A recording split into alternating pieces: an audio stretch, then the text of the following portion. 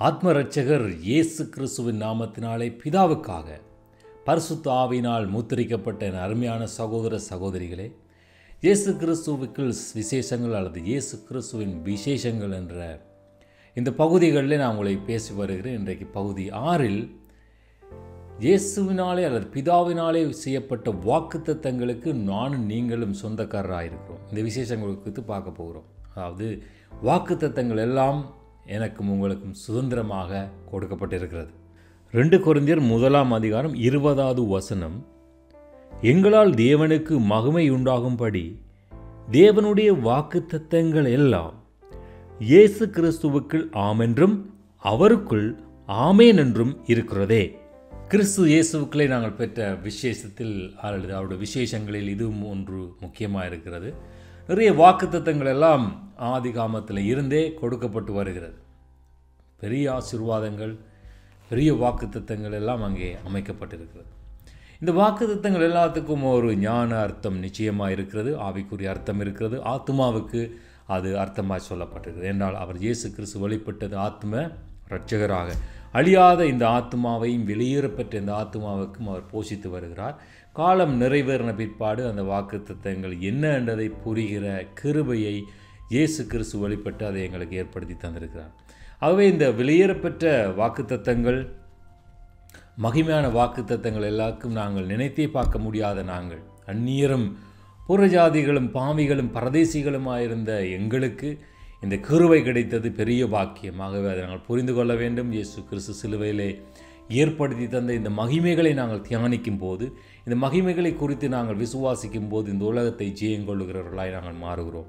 இந்த உலகத்திலே நாங்கள் வெற்றி பெற்றவர்களாய் இந்த உலகத்தை கடந்து செல்ல அதை எங்களுக்கு வழி நடத்தும். உலகத்தில் எல்லாருக்கும் சம்பவிக்கிற மாதிரியே கிறிஸ்தவர்களுக்கு முடிவு இருக்குமா இருந்தால் கிறிஸ்துவை நாங்கள் விசுவாசிக்கிறதிலையும் இந்த ஆத்மா அவரிடத்திலே வாஞ்சித்ததிலையும் ஒரு அர்த்தம் இல்லாமல் போய்விடும். ஆகவே உலகத்தில் எல்லாருக்கும் சம்பவிப்பது போலவே எல்லாருக்கும் சம்பவிக்கும். ஆனால் முடிவு எல்லாருக்கும் இருக்கிறது போல இருப்பதில்லை. இதனால தான் அந்த ஞானியே குழம்பிட்டான் ஒரு கட்டத்தில். இந்த சாலமோன் ஞானி எல்லாத்தையும் பார்த்தார். அவர் கடைசியாக மறைக்கிற வ தருவாய் வரும்போது அவருக்குரிய குழப்பம். என்னடா இது? பெரிய ராஜாவாகிய நானும் மறைக்கிறேன். பரதேசியாக இருந்தவனும் மறைக்கிறான். அந்நியனாக இருந்தவனும் மறி மறிக்கிறான். ஏழையாக இருந்தவனும் மறைக்கிறான். அப்போ எல்லாருக்கும் இந்த பூமியிலே எல்லாம் ஒரே மாதிரி தானே நடக்கிறது. இதிலே நாங்கள் கடவுளை நம்புகிறதுலையும் என்ன மேன்மை என்று சொல்லி அவனுடைய ஞானம் பிதட்டுகிறதை பார்க்குறோம். இன்றைக்கு அநேகருடைய ஞானங்கள் கிறிஸ்துவுக்களே கலக்கப்பட்டிருக்கிறபடியால் இப்படித்தான் பிதட்டப்பட்டு விசுவாசங்கள் மிக வேதனையாய் கடந்து சொல்லிவிட்டது. காரணம் கிறிஸ்துவை நாங்கள் எதற்காக விசுவாசிக்கிறோம்? கிறிஸ்துவின் மேன்மைகள் விசேஷங்களை இந்த ஆத்துமா விசுவாசிக்காதனால் இந்த ஆத்துமாவுக்கு அது போஷிக்கப்படாதனால் அது பலவீனப்படுகிறது. ஆகவே இந்த கிறிஸ்தவர்கள் நாங்கள் விசுவாசிக்க நாங்கள் சரியான விசுவாசத்தை அறிந்து கொள்வோமா இருந்தால் நிச்சயமாக இந்த ஆத்மா ஜெயங்கொள்ளுவது அதிக நிச்சயம். அப்போ சொல்கிற ஒன்று ஐந்து ஆகையால் நீங்கள் எருசுலோமை விட்டு போகாமலும் என்னிடத்தில் கேள்விப்பட்ட பிதாவின் வாக்குத்தத்தம் நிறைவேற காத்திருங்கள் என்று கட்டளையிட்டார். தீத்து ஒன்று மூன்று பொய்யுறையாத தேவன் ஆதிகாலம் முதல் நித்திய ஜீவனை குறித்து வாக்குத்தத்தம் பண்ணி அதை குறித்த நம்பிக்கையை பற்றிய தேவபக்திக்கு ஏதுவான சத்தியத்தை அறிகிற அறிவும் விசுவாசமும் தேவனால் தெரிந்து கொள்ளப்பட்டவர்களுக்கு உண்டாகும்படி. இங்கே பிதாவின் வாக்கு தத்தம் அதாவது பிதாவினாலே தெரிந்து கொள்ளப்பட்டவர்களுக்கு எல்லாருக்கும் அல்ல. இந்த எல்லாரும் அநேகர் கிறிஸ்தவர்களாக இருக்கலாம் ஆனால் பிதாவினுடையவர்கள் அவருடைய சத்தத்தை கேட்கும் ஆத்மாவை குறித்து சொல்லப்படுகிறது.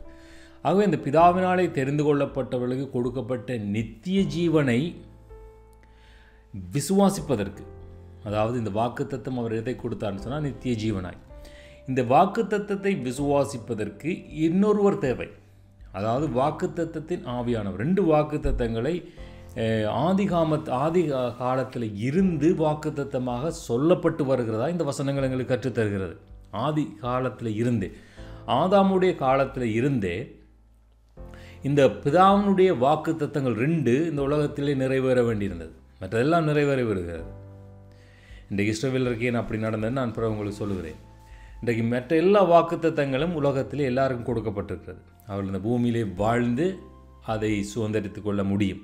அவர்களுடைய அறிவுக்கு தக்கதாய் அவருடைய திறமைகளுக்கு தக்கதாய் அவருடைய முயற்சிகளுக்கு தக்கதாய் அவைகள் அமைக்கப்பட்டிருக்கிறது. இதிலே ஒன்றும் கிறிஸ்து பிதா ஒன்றும் திருப்பி ஒன்று காரியத்தை செய்ய வேண்டிய அவசியம் இல்லை. இரண்டே இரண்டு காரியங்கள் அங்கே ஆதாம் மூலமாய் இழக்கப்பட்டது.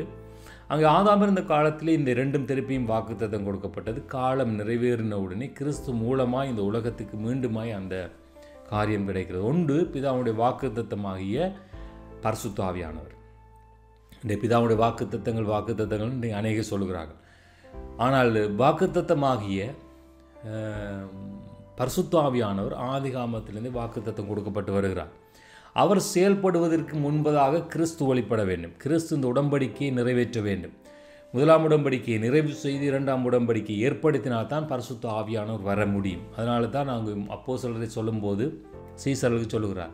அப்போ நாங்கள் நினைக்கலாம் ஏன் இந்த தேவனுடைய வாக்குத்தத்தமாகிய நித்திய ஜீவனை விசுவாசிப்பதற்கு எங்களுக்கு ஏன் தேவனுடைய வாக்குத்தத்தமாகிய பரிசுத்த ஆவியான தேவை என்று நீங்கள் கேட்கலாம். நல்லா யோசியுங்கள். சீசர்களோடு இயேசு கிறிஸ்து இருந்து நிறைய காரியங்களை தேவன ராஜ்யத்தை குறித்து தான் பேசிக்கொண்டிருந்தார் அவர் எங்கேயுமே உலக காரியங்கள் குறித்து பேசவில்லை. அப்படி உலக காரியங்களை ஓமையாக சொல்லும்போது கூட தேவன் ராட்சியத்தை தான் அவர் சுட்டி காண்பிக்கிறதை சொல்லக்கூடிய மாதிரி இருக்குது. ஆகவே தான் அவர் ஜனங்களுக்கு ராஜாக்கள் எல்லாம் விசாரிக்கும் போது அவர் சொன்னார் உங்களுடைய ராட்சியம் வேறே என்னுடைய ராட்சியம் வேறே. நான் பிதாவுடைய ராட்சியத்தை குறித்து பேச வந்தேனே தவிர பூமிக்குரிய ராட்சியங்களை குறித்து பேச வரவில்லை என்பதை அவர் தெளிவாக சொல்லிவிட்டார். இன்றைக்கு இயேசு கிறிஸ்து பூமிக்குரிய ராஜ்யங்களுக்காய் விசுவாசிக்கப்படுகிறது. பரிதாபத்துக்குரிய விஷயம் இவைகளை சுமந்து செல்கிறவர்கள் அறுநூற்றி அறுபத்தாறு இலக்கத்தை பெற்றவர்கள் அவர்கள் கண்கள் மூடப்பட்டிருக்கிறது. அவர்கள் கண்கள் திறக்கப்பட கத்தர் கிருவை பாராட்டும் நாங்கள் உதவி செய்வோம் அவர்களுக்கு. ஆகவே இங்கே சீசர்கள் இயேசு கிறிஸ்துவோடு இருந்தார். அவர் நிறைய காரியங்கள் பிதாவுடைய ராட்சியத்தை குறித்து பேசிக்கொண்டார் அவர் கேட்குறதுக்கு இனிமையாக இருக்குது இன்றைக்கு அநேக கிறிஸ்தவர்களுக்கு தேவனோட ராட்சியம் நீங்கள் தேவனுடையவர்கள் தேவனுடைய புத்தர்கள் பரலோர் ராட்சியம் உங்களுக்கு இருக்கிறதா? கேட்க நல்லா இருக்குது ஆனால் அவர்களுடைய செயல்பாடை பார்த்தீங்கன்னா அதுக்கு சம்மந்தமே இருக்குது என்றால் அவருக்கு அந்த விசுவாசிக்கிற பலன் இல்லை இங்கே. அந்த ஆத்மா உயிர் பெறவில்லை இன்னும் அவர்களுக்கு. ஆத்மா உயிர் பெற்றால் தான் அதுக்கு அந்த ஆத்மா தான் இதில் அந்த பலன் பெற பெற்றால் தான் எங்களுக்கு இதை விசுவாசிக்கிற தைரியம் வரும். ஆகவே இவர்களுக்கு அந்த தைரியம் இல்லை. கடைசி இயேசு கிறிஸ்து உயிர்த்தெழுந்த பிறகு வந்துச்சா? வரலை. ஏனென்று சொன்னால் அங்கே இயேசு கிறிஸ்து சொல்லுகிறார் நீங்கள் பிதாவினுடைய வாக்குத்தத்தம் வரும் வரை நீங்கள் போய் காத்திருங்கள். அதுக்கு பிறகுதான் உங்களுக்கு உங்களோட வாழ்க்கை ஆரம்பமாக போகிறன்றது இயேசு கிறிஸ்துக்கு தெரியும். அதனால தான் அவர் இருக்கும்போதே சொன்னார் நான் இந்த பூமியில் இருந்து உங்களுக்கு பிரியோசனம் இல்லை. அதனால தான் அவர் சீக்கிரமாக தன்னுடைய வந்த அலுவலை முடித்து விட்டு போய்விட்டார். அல்லாட்டி இன்னும் நீண்ட காலம் பூமியில் இருந்து நிறைய காரியத்தை அவர் செய்திருக்க முடியும். ஏன்னா கிறிஸ்துவாக இங்கே இருந்து பூமியில் ஒன்றும் செய்ய முடியாது. அவர் உடம்படிக்கை ஏற்படுத்த வந்தார்.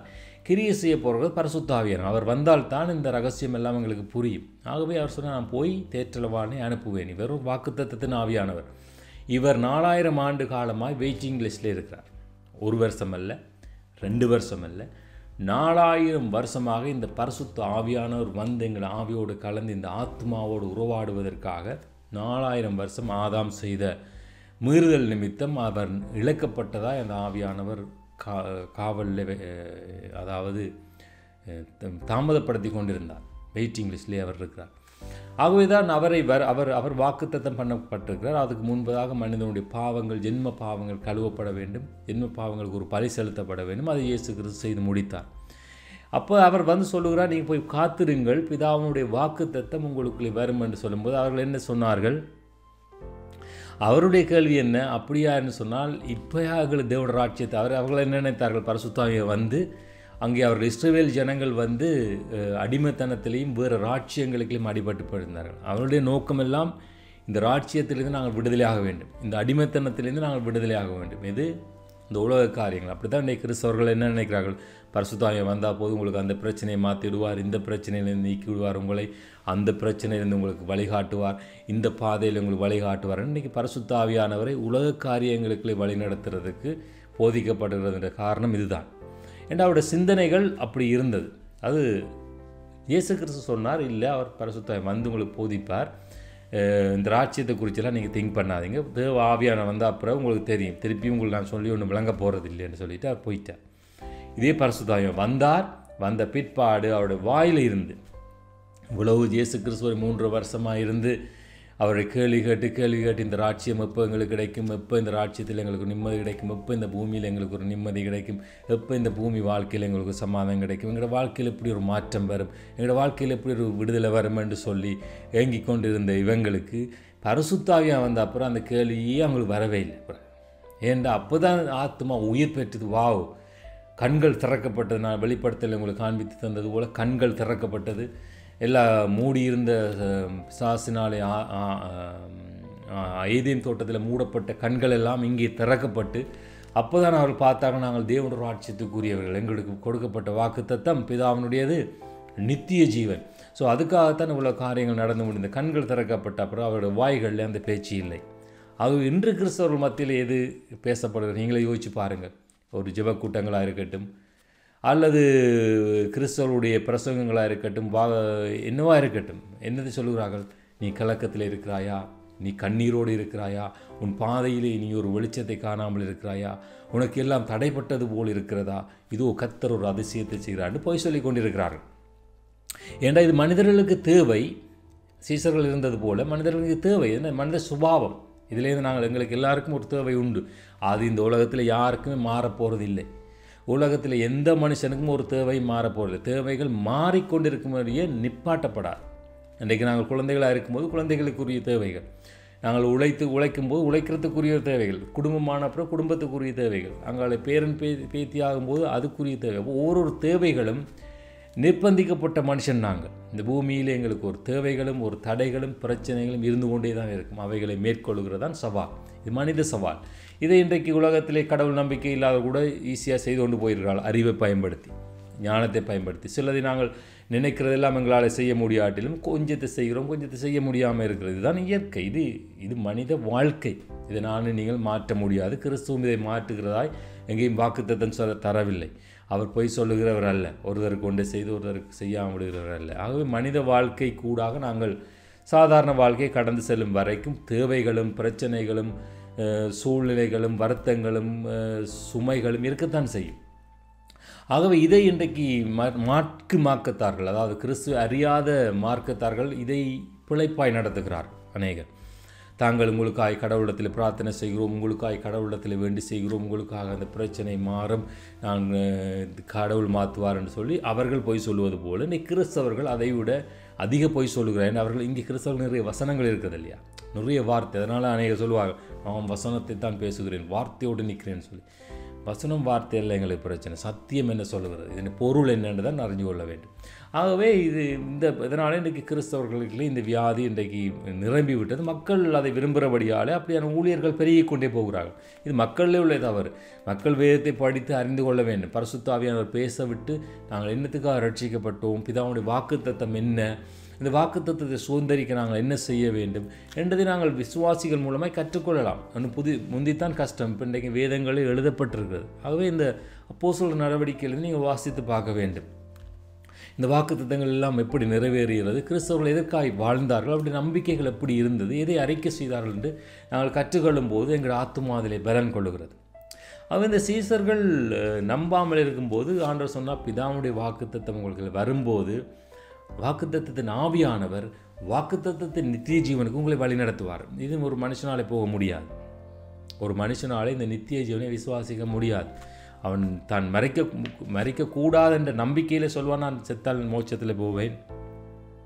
அல்லது எனக்கு ஒரு நல்ல வாழ்க்கை இருக்கும். ஏதோ ஒன்று ஏதோ ஒன்று அப்படி ஒரு நம்பிக்கை இருக்குமே தவிர அந்த உறுதிப்பாடு இருக்காது. ஆனால் பரிசுத்தாவியான வந்தான்னு சொன்னால் அந்த உறுதிப்பாடு எங்களுக்கு இல்லை. அதை தான் முதல் அவர் அவர் போதிக்க விட்டு அன்றைக்கு அநேகருக்கு பரிசுத்தாவியம் வந்து போதிக்க முடியாமல் இருக்கிறது. காரணம் இவர்களே போதிக்கிறார்கள்.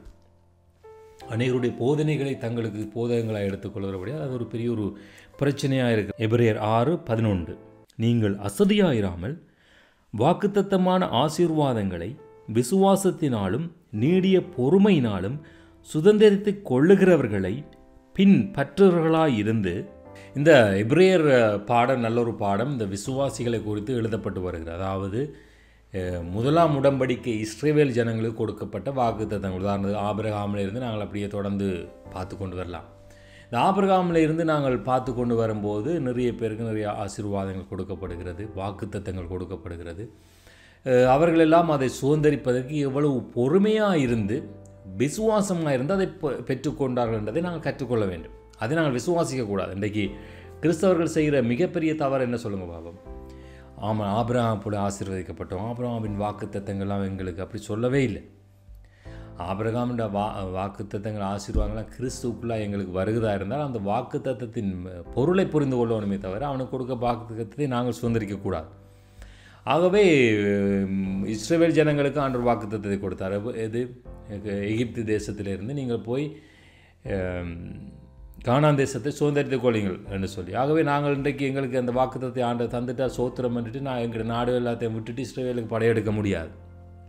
ரைட் அப்படியே ஒவ்வொரு காரியத்தை நாங்கள் அப்படியே சுதந்திரிக்க முடியாது. வேதம் எங்களுக்கு கற்று என்ன தருது? அவைகளெல்லாம் அது அவர்களுக்கு திருஷ்டாந்தங்களாக நடந்த நிழலாட்டம். ஒரு உதாரணமாக அவர் காண்பித்து வந்த தனக்கு ஒரு- ஒரு ஜாதியை தெரிவு செய்து ஒரு ஜனத்தை தெரிவு செய்து அந்த ஜனம் வந்து கிறிஸ்தவர்களாக இருக்கவில்லை. ஒரே தெய்வத்தை அறிந்தவர்கள் அல்ல. ஆபிரகாமை தெரிந்து கொள்கிறார். அவர் எல்லாம் விக்கிர வழிபாட்டில் வேறு ஆற விசுவாசத்தில் இருந்தவர். ஆனால் அவர் இங்கே ஒரே தெய்வனை விசுவாசித்து வந்தார். அதுக்கு பிற்பாடு அந்த சந்ததிகளுக்கு வாக்குத்தத்தை கொடுத்து காண்பித்தார். அதை சுதந்திரிக்கிற பொறுமையையும் விசுவாசத்தையும் கற்றுக் கொடுத்தார். பிறகு இந்த இஸ்ரேல் ஜனங்கள் அவ்வளவு ஜனங்களும் அடிமைப்பட்டு போன பிறகு அதையும் பிறகு வேறு தேசத்திலிருந்து விடுதலாகி வாக்குத்தத்தம் பண்ணப்பட்ட தேசத்துக்குள்ளே கொண்டு மாதிரிகளை காண்பித்தார். இதில் அவர்கள் விசுவாசித்தால் எண்ணத்தை பெறுவார்கள்? அவிசுவாசித்தால் எண்ணத்தை அடைவார்கள் என்ற ஒரு பாடத்தை கற்றுக் கொடுத்தது. ஒரு பாடம். அதான் அதனால தான் இது ஒரு நிழலாட்டம். இது மாதிரியின் உதாரணங்கள் என்று சொல்லாமல் எழுதப்பட்டிருக்கிறது. முதலாவது உடன்படிக்கை. ஸோ இதை நாங்கள் ஆனால் அதில் இருக்கிற பொருளை நாங்கள் கற்றுக்கொள்ளணும். எப்படி ஆபிரகாம் அந்த சுதந்திரத்தை பெறுவதற்கு பொறுமையாக இருந்தான் விசுவாசமாக இருந்தான். அதுபோல் இந்த கிறிஸ்துவங்களுக்கு என்ன வாக்குத்தத்தம் கொடுத்திருக்கிறார்? அவருடைய பரசு தேவனுடைய ஆவியானவரையும் அந்த ஆவியானவர் வழிநடத்தி செல்லுகிற நித்திய ஜீவனையும் வாக்குத்தத்தமாக கொடுத்துருக்கிறார். ஸோ இந்த வாக்குத்தத்தங்கள் எல்லாம் கிறிஸ்து இயேசுக்குள்ளாக நாம் சுதந்திரிக்க முடியும். எங்களுடைய கிரியினாலேயோ எங்களுடைய புண்ணியத்தினாலேயோ எங்களுடைய பக்தியினாலேயோ அல்ல. யாரும் அது இல்லை. அது இயேசு கிறிஸ்துவின் சுத்த கிருபையினாலே நாங்கள் விசுவாசிக்கிறோம். அதை எங்களுக்கு செய்தார்னு சொல்லி விசுவாசிக்கும் போது அதுக்கு நாங்கள் சுதந்திரராகிறோம். ஸோ இந்த விசுவாசத்தை நாங்கள் சுதந்திரிக்க போகிற நாங்கள் இந்த முதலாம் உடம்படிக்கை விசுவாசிகளுடைய பொறுமைகளையும் விசுவாசத்தையும் நான் கற்றுக்கொள்ளும் இரண்டையும் தான். அவருடைய இந்த வசனத்தை உங்களுக்கு வா வாசித்து காண்பித்தேன். அவருடைய விசுவாசத்தையும் அவருடைய பொறுமையை கற்றுக்கொண்டு நாங்களும் அந்த விசுவாசத்தில் இருந்து பொறுமையாக இது என்ன நித்திய ஜீவனை பெறுவதற்கு நாட்கள் இருக்குது. அதுக்கு முன்பதாக எங்களுக்கு விசுவாசமும் பொறுமையும் மிக அவசியம். ஸோ அப்போ இதை நாங்கள் கற்றுக்கொள்ளுகிறதற்கு நாங்கள் ஜாக்கிரதையாக இருந்து இதை கற்றுக்கொள்ள வேண்டும் என்று எழுதப்பட்ட பாடங்கள். ஆகவே எனக்கும் உங்களும் கொடுக்கப்பட்ட இந்த வாக்குத்தத்தம் எல்லாம் கிறிஸ்துவுக்குள்ளே சுதந்திரிக்கிற கிருபை கிடைத்தபடியாக நாங்கள் இயேசு கிறிஸ்து சிலுவையில் ஏற்படுத்திய இந்த புதிய உடன்படிக்கைக்கு நான் நன்றி செலுத்த வேண்டும். அதுக்காக நாங்கள் தேவனை சோத்தரிக்கணும் எங்களுடைய ஜெபங்களிலே எங்களுடைய விசுவாச அறிக்கையிலே நாளாந்தம். எப்பப்பெல்லாம் எங்களுக்கெல்லாம் தேசுக்கு சோத்திரம் சொல்ல வருதோ அப்போ நாம் சொல்லணும். ஆண்டவரே உங்களுடைய புதிய உடன்படிக்காய் சோத்திரம். இயேசுவினை சிலுவையில் எனக்கு ஏற்படுத்தி தந்த உடன்படிக்கைக்காய் சோத்திரம். உடன்படிக்கைக்கு நான் பாத்திரராக இருக்கிறபடியால் நன்றி என்று சொல்லி ஆத்துமா அவரை சோத்தரிக்க வேண்டும். இந்த ஆத்துமா சோத்தரிக்கும் போது அதுக்குள்ள விசுவாசம் எங்களுக்கு வளருகிறது இன்னும்.